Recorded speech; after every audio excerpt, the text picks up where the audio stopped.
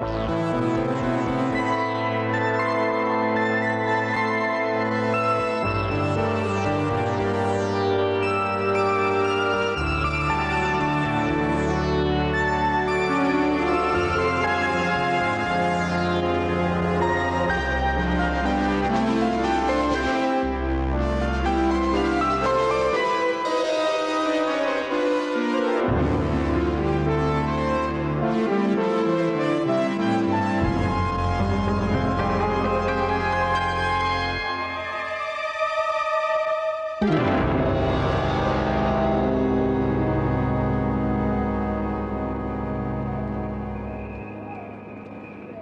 One of the great projects of art is to reconcile us with the world.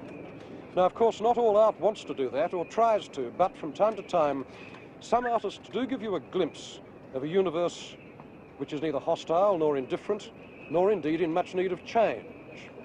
And in such a place you can move without strain because in some way it completes your nature.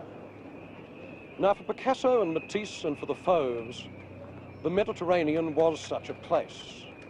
It was the sea that stood for a kind of timeless sensual satisfaction beyond history, as well as for a continuous historical tradition back to the antique past. This is what happened to it within 60 years of the paintings they made on the coast. Endless kitsch, infinitely prolonged, a terrible parody of pleasure. No wonder their work looks like a lost paradise now.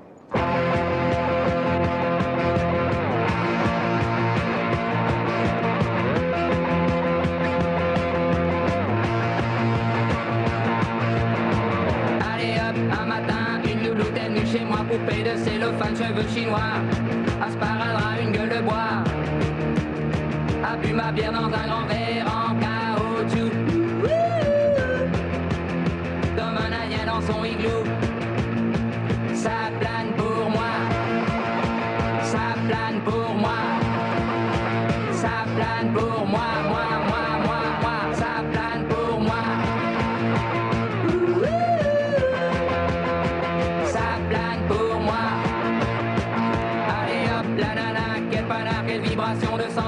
paillasson.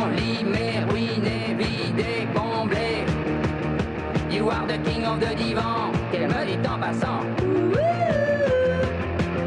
I am the king of the divan. Ça plane pour moi.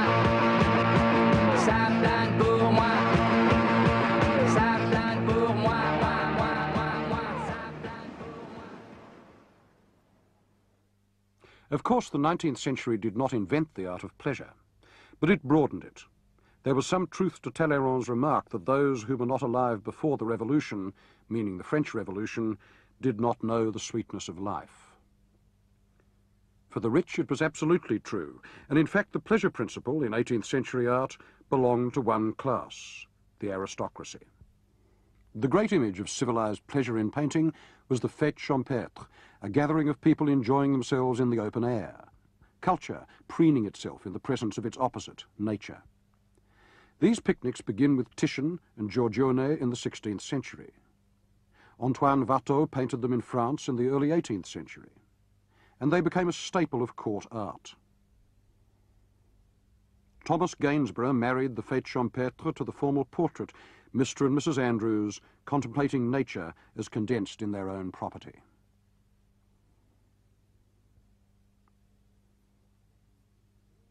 The landscape and the figures in it, their clothes, their possessions, all these things stand for the class that also owns the painting. Which is normal in art. But within a few decades of the French Revolution, there was a new ruling class in France and England, the bourgeoisie. It wanted to be depicted. It wanted its pleasures described and its life documented. And this triumphant middle class included not only the conservative painters, but some of the most advanced artists of its time.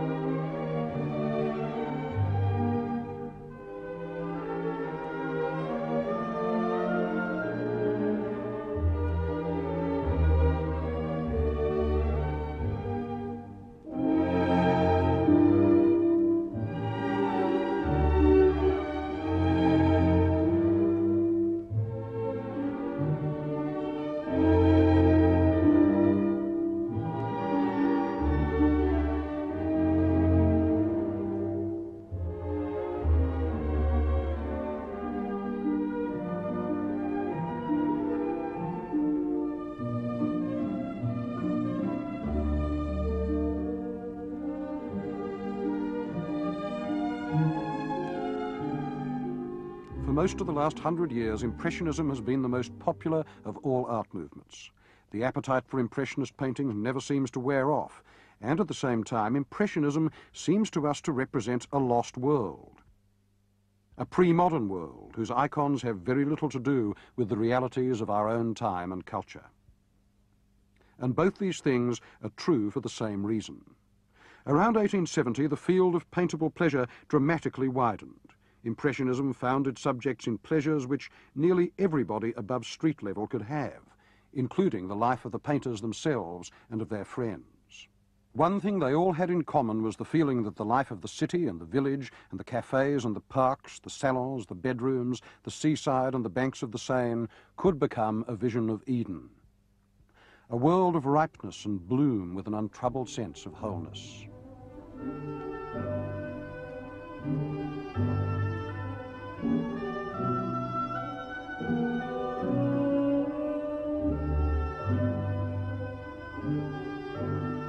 The Impressionists had their moment at the start of the longest continuous peace that Europe would ever know, 44 years from 1870 to 1914. A lost world that you need to be very old to remember.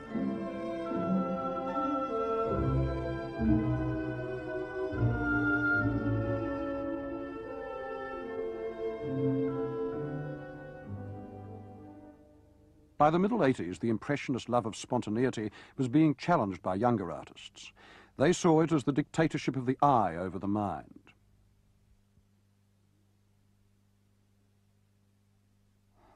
The unit, the building block of Impressionism, had been the brushstroke, which was as personal as handwriting. The greatest of the younger artists was Georges Seurat, who replaced the stroke with the dot. Hundreds of them. Thousands.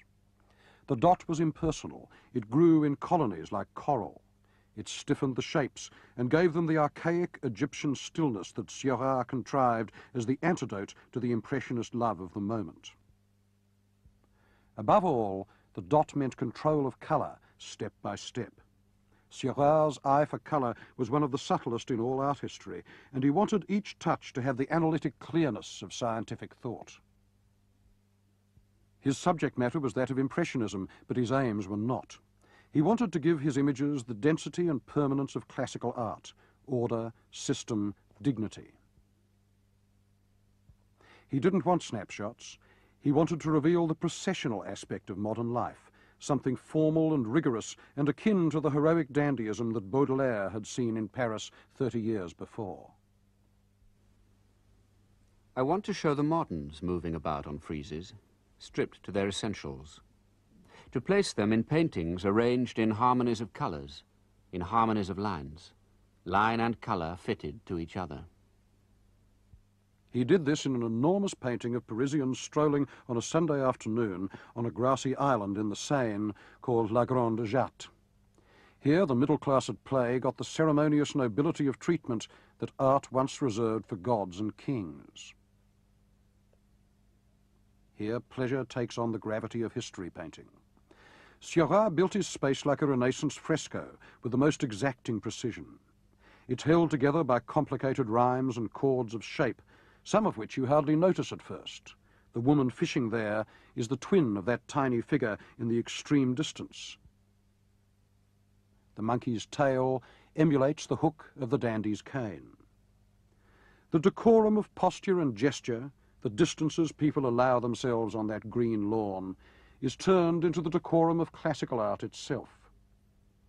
He's a bit ironic about his middle-class moderns. They glide about on the grass like tin toys on wheels. But the irony is part of the modernity. Just because it is a distanced painting, it makes you aware of its semantics.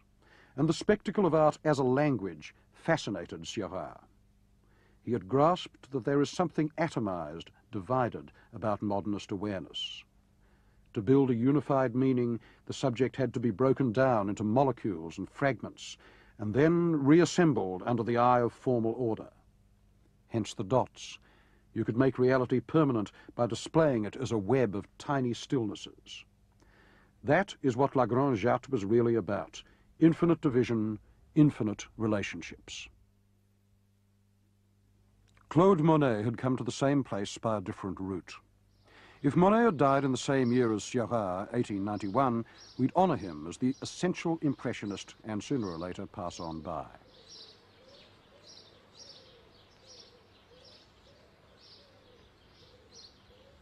None of the Impressionists had praised the surface of landscape more eloquently. He was to trees and grass and wind what Renoir was to women's skin. But at the same time, not very much that Monet painted before his 50th birthday had the complete reflective permanence of great art. The problem was to deepen the game of seeing, to show that the eye was connected to the brain with its immense powers of discrimination. But to do that, one must possess the subject. This kind of meditation needs pleasure and not pain. It has to come from the centre of the self and not from its disturbed edges. The novelist Gustave Flaubert once remarked that art is a luxury. It requires calm, white hands. And I suppose the supreme example of this in the life of a painter is the garden which Claude Monet built for himself at Giverny about 50 miles outside Paris.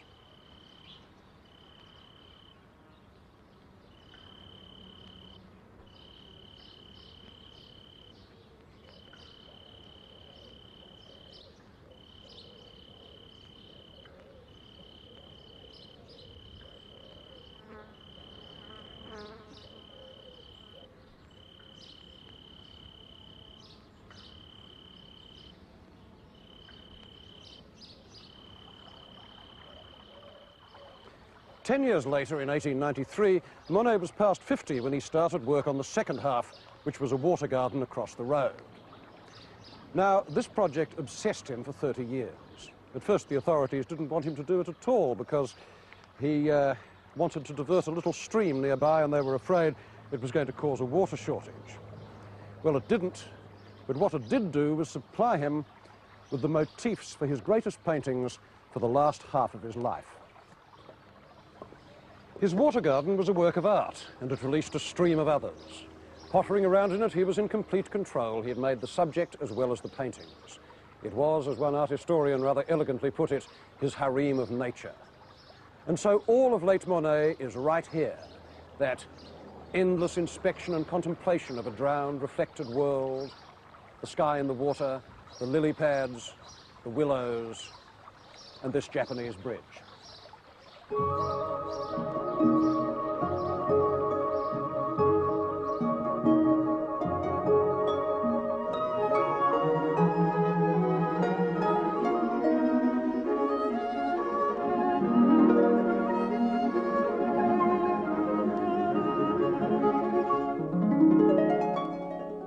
The pond was as artificial as painting itself. It was flat, as a painting is. What showed on it, the clouds and lily pads and cat's paws of wind, was caught in a shallow space, just on the surface, like the space of painting. The willows touched it, like brushes. No foreground, no background, a web of connections. Monet's water lilies were a slice of infinity. In them, emptiness matters as much as fullness. Reflections have the weight of things. To seize the indefinite, to fix what is unstable, to give form to sights so complex, so nuanced, that they can hardly be named. This was a basic project of modernism. It went against the smug view of reality that materialism gives us and it could only be developed in a context of visual pleasure. No distractions. Its other pioneer, but a very different one, was Paul Cézanne. From 1880 to the year of his death, 1906, Cézanne spent most of his time working here in the south of France, in a studio outside Aix-en-Provence.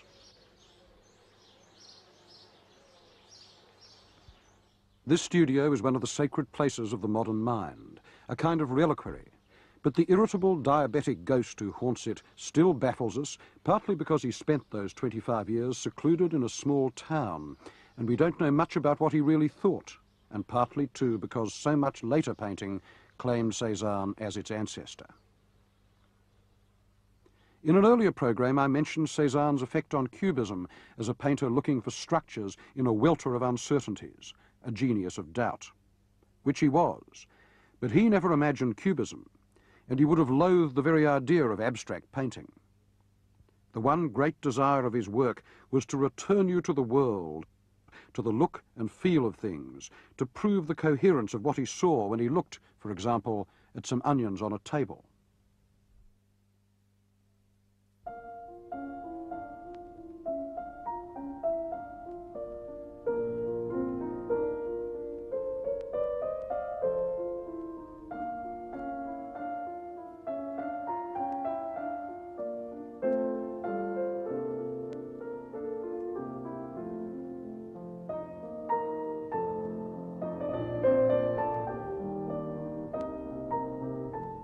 He took an enormous amount of time and trouble over his paintings, sitting after sitting.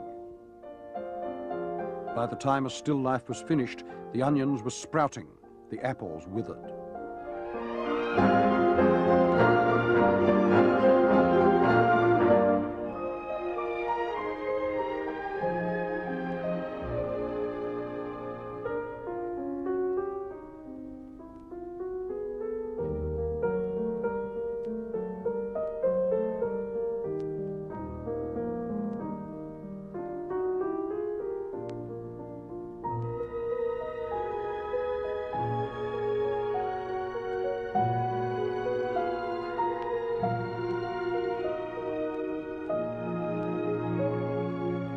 Landscape could not decay, and Cézanne made a point of trudging out to his view day after day, lugging his portable easel in all weathers, until he died of a chill that he caught from painting in the open air.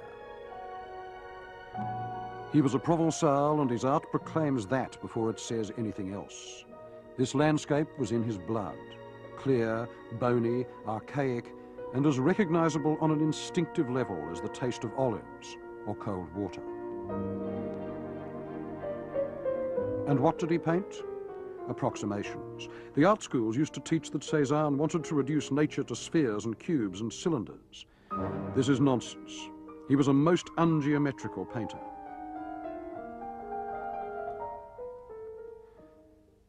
Instead of clear forms, he set down tiny adjustments. You see him engaging his subject, inch by inch, minute by minute. Cézanne had no time for smooth generalizations. And by the end of his life, he wasn't interested in the Impressionist snapshot either, the one-day painting that set down one scene under one fleeting condition of light. He painted the same motifs over and over again without ever once repeating himself. The hill that became his emblem was Mont Sainte-Victoire, outside Aix. He wanted his images to be the accumulated evidence of thought, every painting a deposit, a sort of uneven crust of observations. The more he painted, the more he saw, and the more he saw, the more manifold and unattainable truth became. No painter ever achieved more in such isolation. Instead of facility, he had an immense scrupulousness, and so he was frustrated most of the time, right up to the end. A few weeks before his death, he wrote a letter to his son in Paris. I must tell you that as a painter, I am becoming more clear-sighted before nature. But with me, the realization of my sensations is always painful. I cannot attain the intensity that is unfolded before my senses. I do not have the magnificent richness of coloring that animates nature.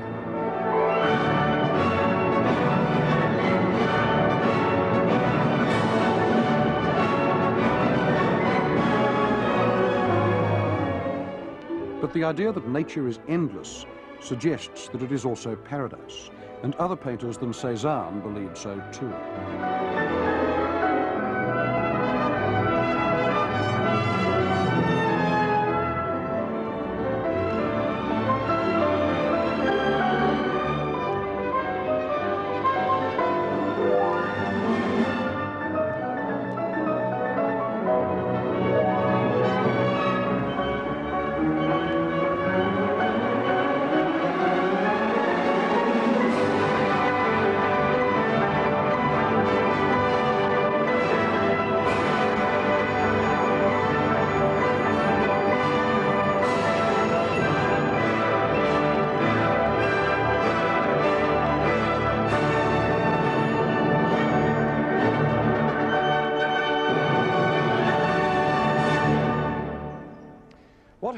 That artists were looking for the kind of landscape that suited the pictures they wanted to do. Van Gogh's disappearance to Arles was part of that, and so were the trips that Derain and Matisse made to Collioure in the early 1900s. What they were looking for was a greater purity of natural sensation. Instead of grey Paris, they wanted the blue sky and the silvery olives and the red earth and the lavender. It wasn't a question of detaching colour from nature. Rather, the aim was to find in nature a special kind of chromatic intensity, colour that spoke directly to the psyche and could be concentrated on a canvas. The man who did most to bring in the idea of independent symbolic colour and free its role in art was a brilliant histrionic fugitive named Paul Gauguin. Now everybody knows something about him. He was the archetypal dropout, the man who gave up banking to paint, who went half crazy with his mad friend Van Gogh trying to set up an artist commune in the Yellow House at Arles, and who left his wife for the embraces of the Tahitians. What provoked his famous escape was the great Paris Exposition, which had a Tahitian sideshow, and travel brochures which read, The lucky inhabitants of the remote South Sea paradise of Tahiti know life only at its brightest. The idea of the noble savage living in a blissful state of virtue in the fruitful bosom of nature was one of the great fantasies of European thought, and Tahiti was the proof that this creature existed. So the myth of Tahiti blossomed very quickly. Moreover, Paradise was a French colony. So in 1891, Gauguin set off, cheered on by his friends and admirers, who nevertheless wisely stayed in Paris. Instead of paradise, he found a trading port. Instead of noble savages, prostitutes. A culture wrecked by Bibles and booze, its rituals dead, its memory lost, its population down from 40,000 in Captain Cook's time to 6,000 in Gauguin's. So the paradise Gauguin painted was deceptive, even pessimistic, a lost Eden full of cultural ghosts, and his Tahitians were like survivors of a golden age that they could not remember. Those nymphs, I want to perpetuate them, with their golden skins, their searching animal odour, their tropical savours. It was his colour that pointed to the future. The colours of Tahiti were brilliant, and Gauguin used them with a moody intensity. He believed that colour could act almost like words, that it held an exact counterpart for every emotion and every nuance of feeling. Colour became the interpreter between the mind and the world. It was a language made up of patches on a flat surface. Its job was to express rather than to describe. For younger painters, this was a tremendous liberty. But they wanted to use it inside France, and its natural theatre was the south. For colour was the sign of vitality, the emblem of well-being.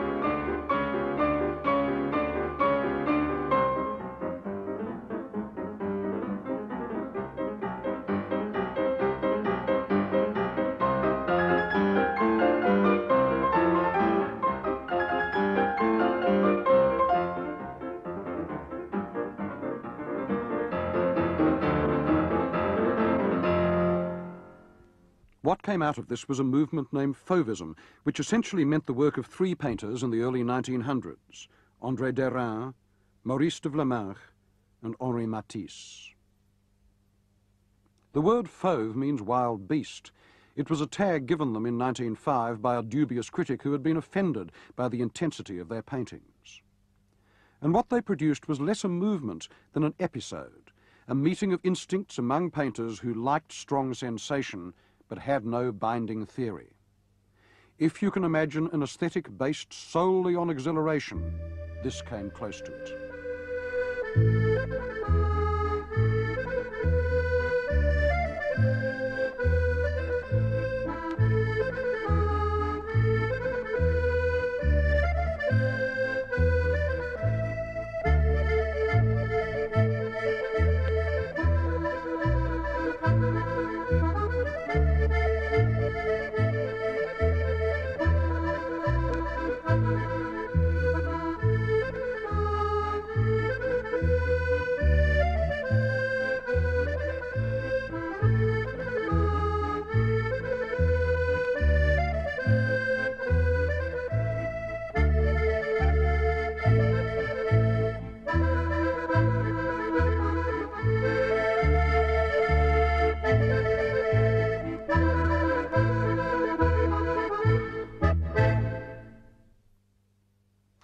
Master of reflection within pleasure was Henri Matisse. He was born in 1869 and he died in 1954, and nowhere in the span of his work do you feel a trace of the alienation and conflict to which modernism consigned us. His studio was a place of equilibrium that produced images of refuge for 60 continuous years. In 1904, Matisse got interested in Seurat's technique of pointillism, the coloured dots that were being used by his followers, among them Matisse's friend, the painter Signac. Signac had a house at Saint-Tropez, and Matisse went there in the summer of 1904. The result was one of those awkward demonstration pieces of modern art where Matisse's literary instincts merged with his fantasies about Arcadia, a picnic by the sea at Saint-Tropez with a lateen-rigged boat and a pine tree and a cluster of spotty bulbous nudes, and a thoroughly Baudelairean title, Luxury, Calm and Pleasure. It was Matisse's first image of the Mediterranean as a state of mind, a clumsy painting, but a portent. In 1905, Matisse went with André Derain to paint in the little coastal village of Collioure, near the Spanish border. This was one of the crucial moments in the short history of Fauvism because at Collioure both men painted their most radical pictures so far. This was the point at which Matisse's colour broke free. Thick blobs of paint one moment, bare canvas the next, and the harsh glitter of local colour to mimic the dazzle of afternoon light on the water. The new Matisses were very shocking indeed. Their defenders were uncertain about them, and their detractors thought them barbaric. Particularly offensive was Matisse's use of this new colour system, discordant and ragged, in the familiar matrix of the salon portrait, even though the victim was his wife.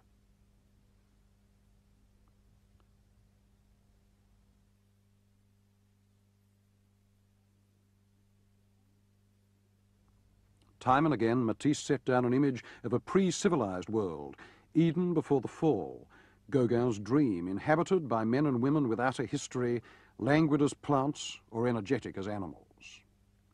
The primitive look of these two huge paintings, the dance and music, still throws you. Matisse presents his image of music at its origins, enacted by half a dozen naked cavemen, prehistorical, pre-social almost, and definitely pre-technological. A reed flute or two, the slap of hand on skin. And yet, how powerful that editing down is. The simplest elements, earth, sky, body, each allotted its own local colour and nothing more. And within that simplicity, what energy! The dance is one of the few entirely convincing images of ecstasy made in the 20th century. That circle of twisting, stamping maenads takes you right back down the line to the red figure vases of Greece and beyond them to the caves. It tries to be as old as dance itself.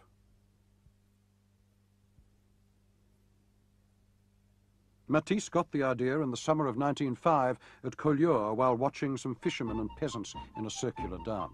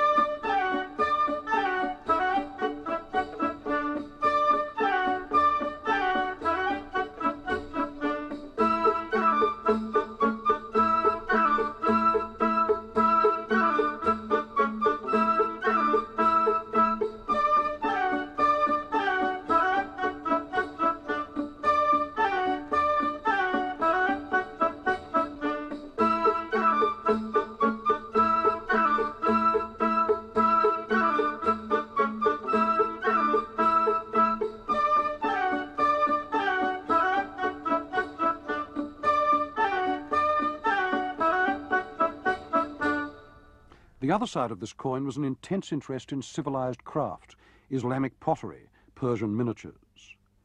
Matisse loved pattern, and through it he gives you the illusion of a completely full world where everything, background, foreground, and in between, acts equally on the eye. One of the results was the Red Studio, which he painted in 1912. On one hand, he wants to bring you into the painting, to make you fall into it, like walking through the looking glass. That box of crayons is put just under your hand, as it was under his. But then it isn't a real space, and because it's all soaked in red, a red beyond ordinary experience, it describes itself as a fiction, as art. Like a Persian miniature, it's all inlaid pattern. And more than that, everything in it is a work either of art or of craft. The paintings are Matisse's. So are the sculptures. The only hint of nature is the plant, but it's a very tame plant, a house plant trying to be a work of art, and it's trained to rhyme with the curves of that chair. And those curves are also reflected on the other side of the room in a pink painting of a nude. So The Red Studio is, among other things, a poem about how painting refers to itself, how art nourishes itself from other art, and how, to this cast of mind, art can form its own republic of pleasure, a Switzerland, a parenthesis within the real world, a paradise. In 1916, Matisse moved more or less permanently to the south of France, to Nice. He found an apartment in the Hotel Regina named after Queen Victoria, who had stayed there.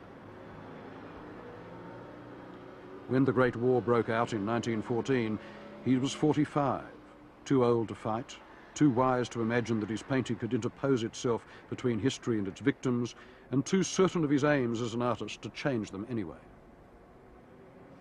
I don't suppose that any great artist since the 18th century has so devoted his work to an idea of comfort and refuge.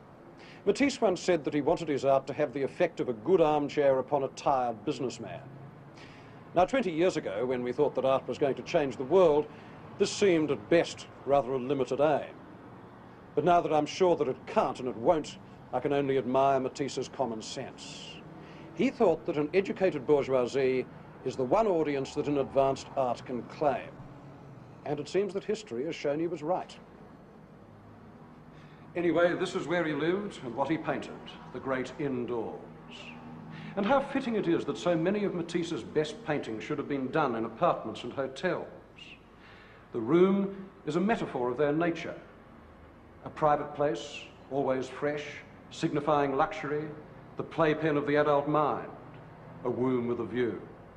And the common theme of Matisse's Mediterranean interiors is that of looking out on benevolent nature from a position of absolute security. The filter between those two worlds is the shutters.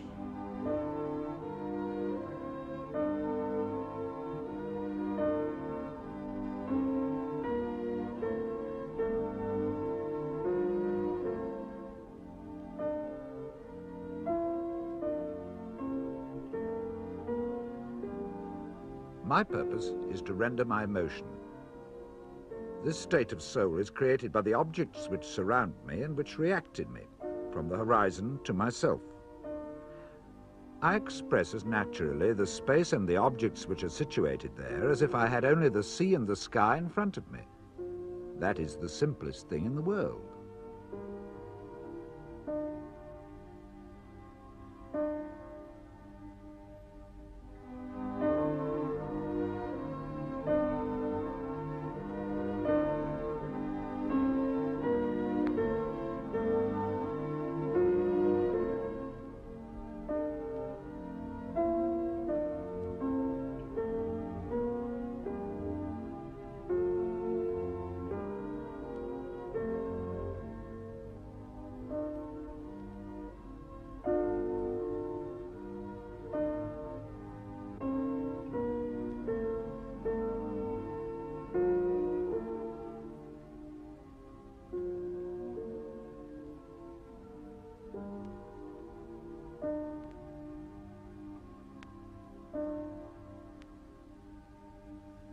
In order to paint my pictures, I need to remain for several days in the same state of mind.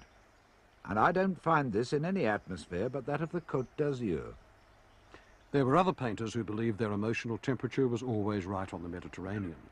Notably Pierre Bonnard, who after years of painting trips to the south, finally moved to this house near Cannes in 1925. Matisse would never have lived in a garden like this. In some ways, Bonnard was his opposite, the little bourgeois against the grand one, a poet of unpruned domestic intimacy rather than of the grand apartment. Matisse's compositions carried an air of formal grandeur, of declamation in the higher tradition of French art, but Bonnard's did not. In still life he took things as he found them, or at least he painted them to seem so. The arrangement of jugs and bowls and plates on that breakfast table seems fragile and chancy, They've strayed into view. And even when the still life is more arranged, like this one, he vaporizes it with colour and with loose brushwork, so that it seems soft, half-formed, ready to disappear, as moments do. Everything in Bonnard is seen with the private eye, not the public one.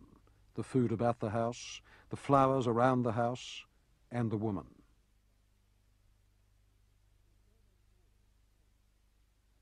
She's almost always the same woman, Marie Boursin. Bonnard met her in 1894 and, after a liaison that lasted more than 30 years, he finally married her. They then lived together until 1942, when she died. Far from being the contented painter's wife in a cottage in the south of France, she was a nagging, jealous shrew who made life impossible for him and his friends, knew nothing about painting and couldn't even cook. But he was utterly and masochistically loyal to her. Bonnard was obsessed with the facts of domesticity and the memories of sexual pleasure, the privacy and the glimpsing, the feeling that the eye is privileged, a party to all secrets.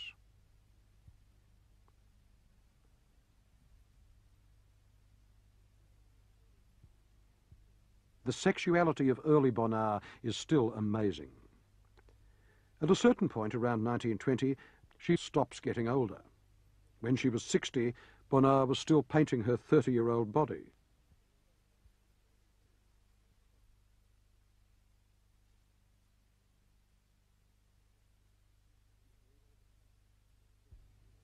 But she is always apart, self-absorbed, spied on.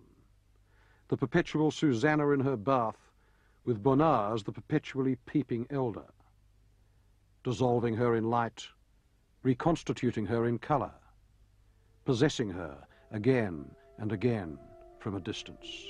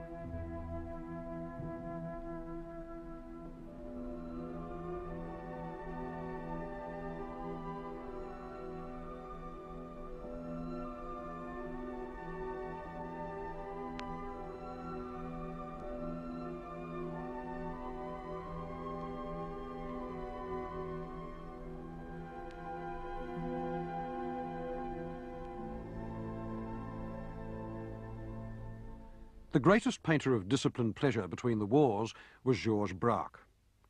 In 1915, a fracture opened in Braque's career. He joined the army and he was shot in the head. There was no brain damage, but he couldn't paint for some years. When he got back to the easel, he had decided once and for all that he could push no further towards abstraction. There is in nature, he remarked, a tactile, I almost mean manual space. And this is what he explored in the still lives of the 20s and 30s. If ever a group of paintings made concrete the desire for measure, sublimation, attention, and calm, it was these. The objects are ordinary a guitar, newspapers, bottles, the routine subjects of Cubism. But each is given its exact visual weight. He wanted to distribute one's attention across the painting as evenly as possible. What all this meant was an ambition different from Cubism to pick up and reassemble the pieces of the French tradition of still life painting that Braque, as a Cubist, had helped to shatter. The result is solider than Cubism, less hypothetical.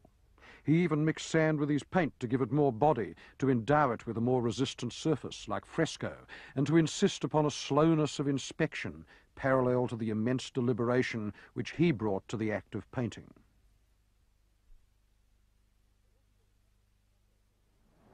There wasn't very much in Picasso's output over the same 25 years that could really equal that kind of frozen music. But then, Picasso had no talent for serenity. His whole idea of pleasure was much more prehensile than Braque's. He wanted to seize and touch and absorb and enter the objects of the Mediterranean. He liked strong, specific sensations.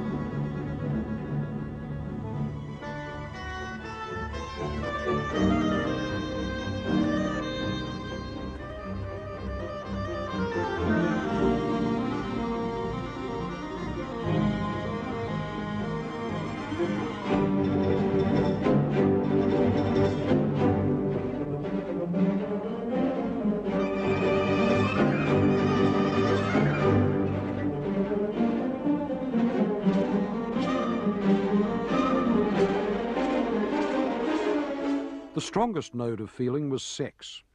Picasso never tried to hide what he felt about it, and when his fear of women was aroused, and it often was, he had to paint it out. So, at one end of the scale, he produced some of the most demonic images of women ever done.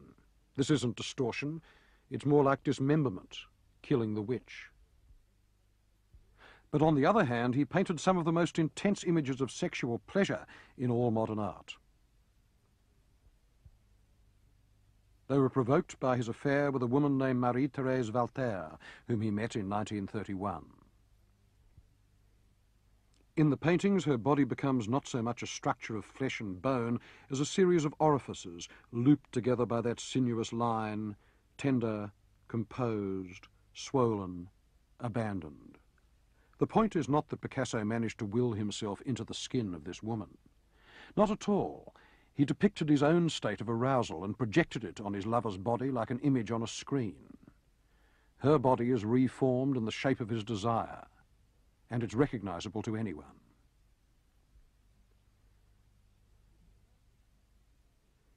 It was about this time that Picasso began to mythologize himself as the Mediterranean artist with a series of etchings called the Vollard Suite. One part of this marvellous cycle is autobiographical, or at any rate, in a loose way, self-descriptive. The sculptor and his model, she the passive and obliging nymph, and he the genius of the place, a sort of river god in costume. These prints were Picasso's invocation of the past. They enabled him to place himself in Arcadia. The Vollard suite was one of the most convincing parts of a general revival of antiquity seen in terms of the cult of the sun, of pleasure and the healthy body that went on in the 1920s and spilled over into the 1930s. It goes without saying that there was a much more complicated and doubt-ridden Picasso behind these antique simplicities. Picasso's image as the old man of the sea was to some extent a role, just as Hemingway's famous cojones were a mask worn on the groin. Nevertheless, the Vollard suite remains the last major work of art to be directly inspired by the classical Mediterranean. It's the end of an immense tradition that lasted for more than 2,500 years and then perished amid the historical disjuncture, the suffering, the physical ruin, and the irony of the 20th century. Within 40 years of the completion of the Vollard suite, Officials in Athens were debating whether to remove the caryatids from the Acropolis and replace them with fiberglass copies, and the whole Côte d'Azur was one mass of pinball machines and pizza parlors from end to end. Of course, the more the tradition receded, the more famous Picasso became. He turned into a kind of living fetish object. He was famous as no other artist ever had been. But none of his later Arcadian images were going to carry quite the same conviction as the Vollard suite, because World War II had killed the classical Mediterranean just as surely as World War I killed the Belle Epoque. One of the first tremors of modernism is in a poem by Mallarmé called The Afternoon of a Faun. And its very first line runs, I would perpetuate these nymphs. Picasso's motto too. But those nymphs couldn't survive except as a sort of dumb decor after Auschwitz and Hiroshima, or even after Guernica and Picasso's efforts to maintain an Arcadian art in his old age began to look less and less convincing. This didn't happen with the ageing Matisse, whose art in the early 1940s was suddenly clarified by a brush with death. There was long surgery and then a long convalescence. My terrible operation has completely rejuvenated and made a philosopher of me. I had so completely prepared for my exit from life that it seems to me that I am in a second life. He expressed this rebirth not with a brush, but with scissors and coloured paper. He cut out shapes and pinned them on a wall or a sheet of paper, and cutting straight into colour, he said, reminded him of the direct carving of a sculptor. It linked drawing and colour in one sweep of the hand.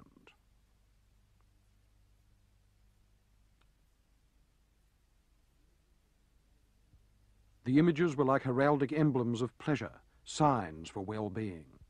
At an age when most painters are either dead or repeating themselves, Matisse had re-entered the avant-garde and redefined it. These cutouts were the most advanced painting and perhaps the most august being made in Europe.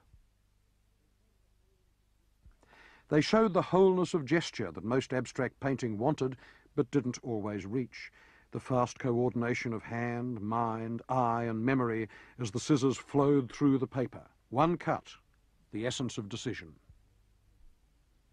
And then the pleasurable digestion, moving the shapes around, pinning them here and there until the harmony was reached.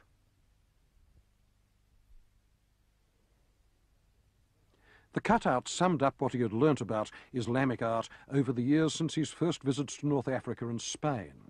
One of their sources lies in Moorish tiles in the walls of the Alhambra in Granada. But they were more than decorative, because Matisse, more than any other artist except Picasso, had saturated his work in the memory of physical sensation, of sunshine and water, the ecstasy of healthy bodies, salt and wine and flowers, the Mediterranean world, which he evoked for the last time in a frieze of diving figures, the swimming pool. This was his farewell to a subject which had been one of the tests of an artist's virtuosity since the 15th century. The human animal in energetic movement, the body stripped of its guilt, an end in itself. Between 1947 and 1951, Matisse was continuously busy with what he called the last stage in an entire lifetime of work and the apex of an immense, sincere and difficult effort. It was also probably the last major work of art that Catholicism would be able to evoke in our century. And this was the Dominican chapel here in Vence, for which he designed just about everything. The murals, the stained glass windows, the crucifix, the lot.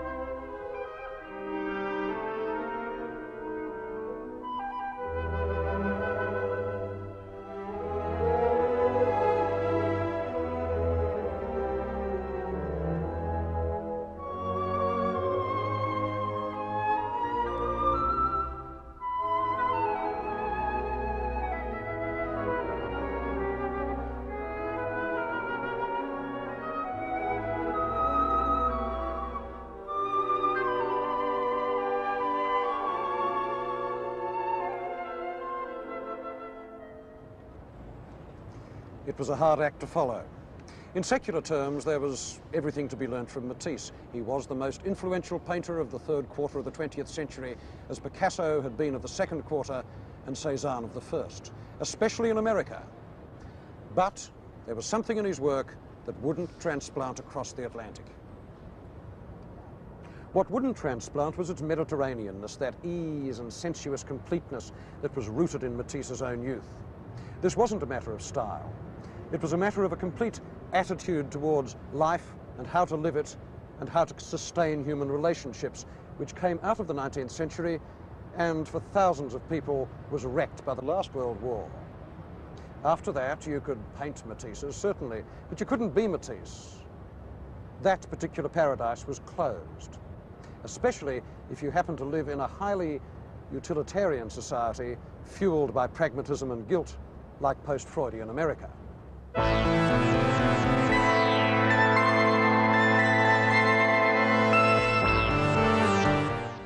Stay with us here on BBC Four as the footballers take on the Musos in another chance to catch tonight's brand new Only Connect.